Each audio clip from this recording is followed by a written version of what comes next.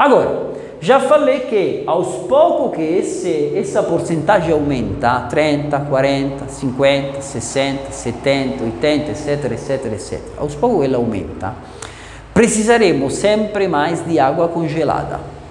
Sempre mais de água congelada para quê? Para suportar a quantidade de ar, senão aquela estrutura cai. Ou seja, se eu pego essa receita com esse overrun e coloco dentro di una vetrina a meno 8, meno 9 in meglio, praticamente o sorvete sarà quasi liquido. A meno 11 sarà quasi liquido. Ok?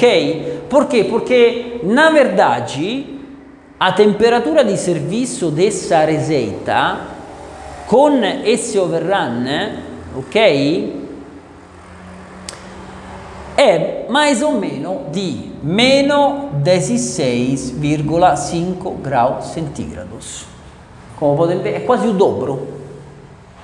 È quasi il dobro, perché? Perché, ripeto, a industria non fa esses cálculos eh, che, fazemos, eh, che faz a gente com poderes anticongelantes, temperatura di servizio, ma a industria calcula attraverso il punto microscopico, calcula depois a... Eh, a quantidade de água congelada que tem naquela determinada temperatura, ou seja, ele fica cremoso, como podem ver, quase na temperatura do freezer, que é, é um grau e meio a menos, é, é pouca coisa. É como dizer, tá vendo aqui, 8,1295 tem mais ou menos um grau, 3. É, podemos dizer que a indústria já calculou, não? A temperatura di servizio di un sorvete, ripeto, con un 80-90% di overrun, o sea, di AR, e attraverso il calcolo che eles fazem, eh, eles conseguem eh, calcular qual é a temperatura ottimal para esse sorvete. Por isso, no, o sorvete deles dentro di un congelador di casa non fica duro come una pedra. Ok? Agora, ehm, perché quis explicar tudo isso? Eh, repito, eh, na, nas perguntas eu vejo muitas vezes não, pessoas que me perguntam sobre sorvete industrial.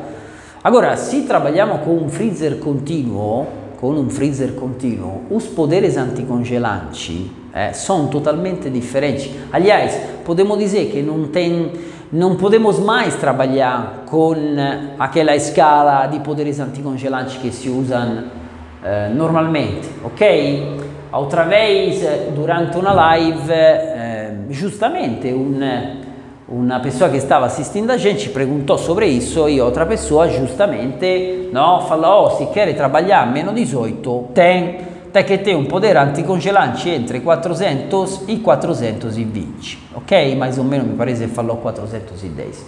Então, imagine, imagine agora colocar um sorvete com uma quantidade de sólido ainda mais alta, porque o sorvete da gente, que normalmente a gente faz, tem especialmente os creme, no? a frutta não, mas os creme tem uma quantidade de sólidos ainda mais alta, com um overrun di un 80%, a 400, com 400 pontos de poder anticongelante.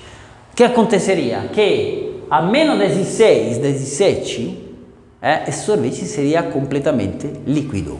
Ok? Quê? Porque, repito, aqui esqueçam tudo que é poder anticongelante, esqueçam totalmente e temos que trabalhar no ponto crioscópico.